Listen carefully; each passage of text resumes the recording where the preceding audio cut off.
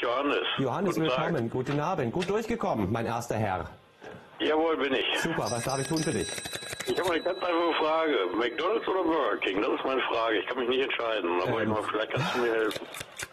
Keine Schleichwerbung, bitte selber kochen. Ist auch wesentlich gesünder. Alles Gute und frohe Ostern, junger Mann. Bis dahin, tschüss.